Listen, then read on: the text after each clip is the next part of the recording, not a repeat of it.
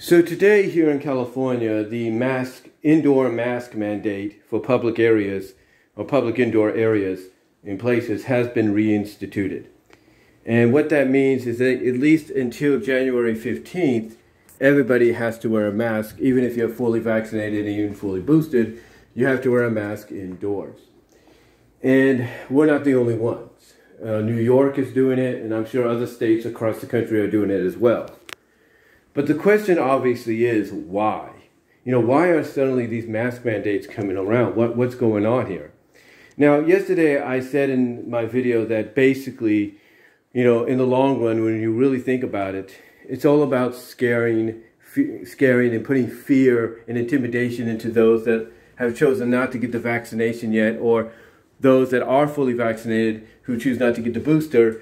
It's just, you know, uh, uh, basically a publicity stunt by the media, by the CDC, by the local and state governments to intimidate, fear, and scare those people into getting the booster, into getting the vaccinations, and, and all that. And it's mostly due to the fact that, like I said in that video, that when you look at the U.S. as a whole, our reputation historically is we're the be all end all uh, of countries around the world. Like we're the be all end all of greener pastures, of more freedom, stuff like that. You know, we're the number one place to be.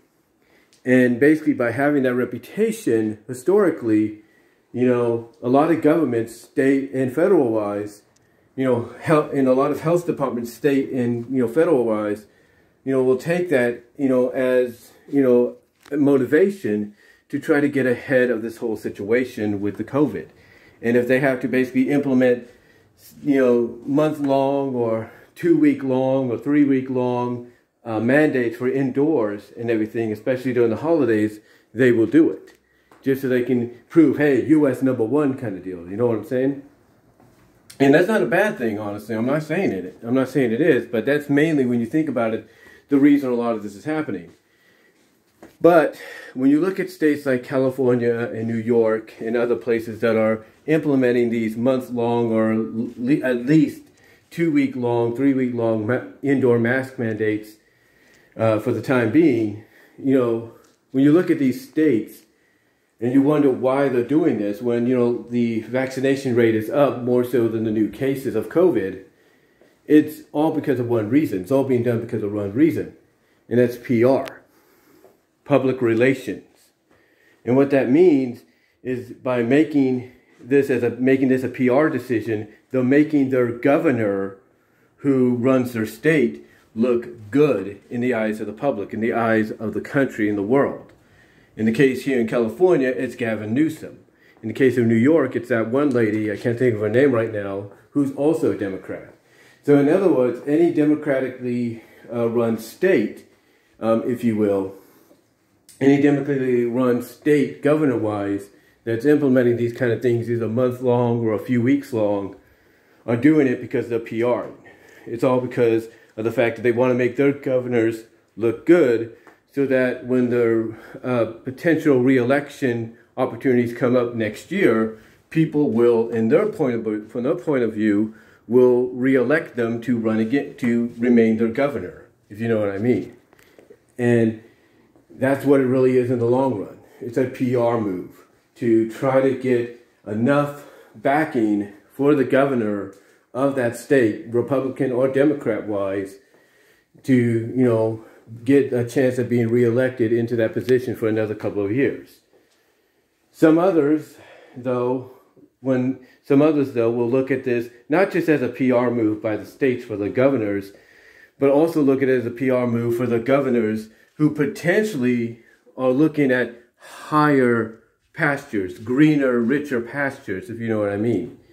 I mean, one common thing here in California, whether you're a Democrat or Republican um, Party supporter, the one common denominator is the fact that, well, basically, um, everybody, everybody pretty much sees that Newsom, you know, he may not show it right now, but just based off the fact that he's going on a book tour, apparently, you know, the way he speaks sometimes, especially with these kind of things, that it's just obvious to them that this is a PR move, not just to, you know, encourage people to reelect him as governor of the state, but to also encourage people to support him for a potential presidential um, campaign run in 20 for 2024.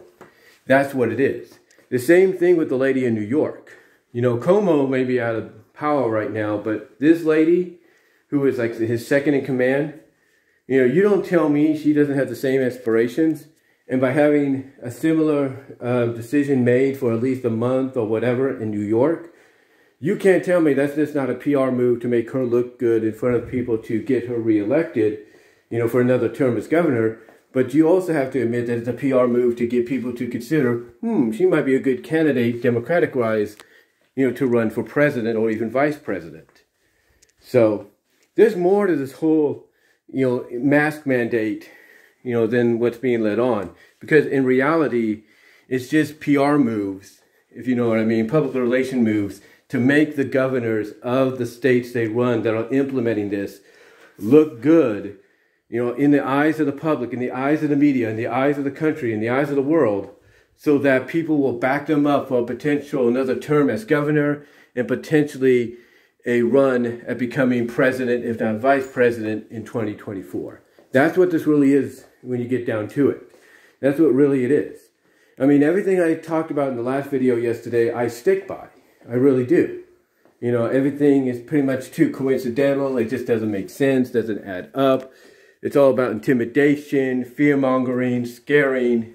And this is coming from somebody that by their own choice, along with his mom, you know, by their own choice, along with his mom and his older sister, have gotten their Moderna vaccines twice and are on the verge of getting the booster.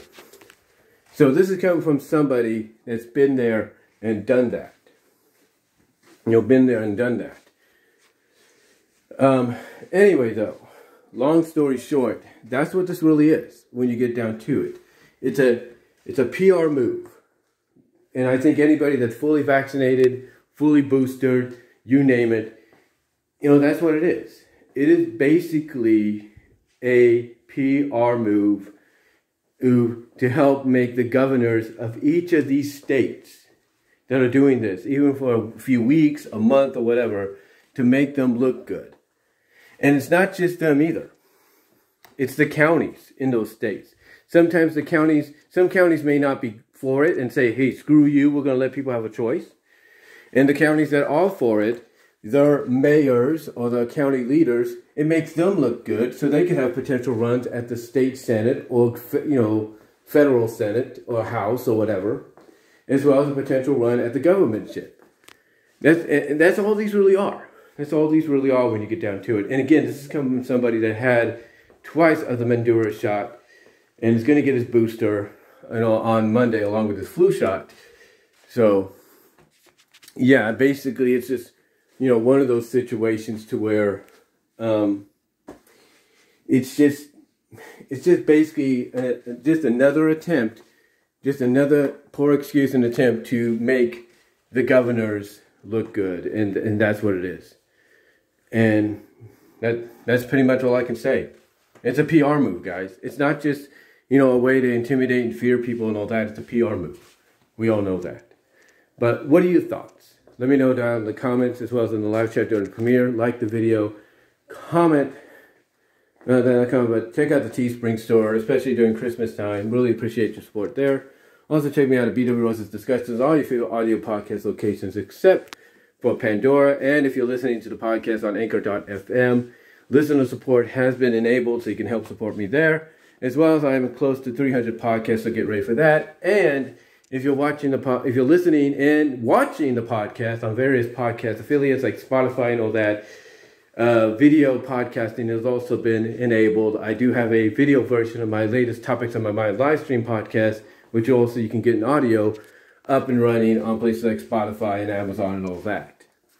Um, also, check me out at BW Rosas on Vimeo for content you can't get here on YouTube due to copyright. Also check me out at patreon.com slash bwrosas, the $1, $3 tier for support there. And check me out at Venmo at Brian-Walmer-2 to help support me there. But what are your thoughts overall? Do you think it is a PR move? You know, in the grand scheme of things, how do you feel about all this? Let me know down below in the live chat during the premiere. I am out.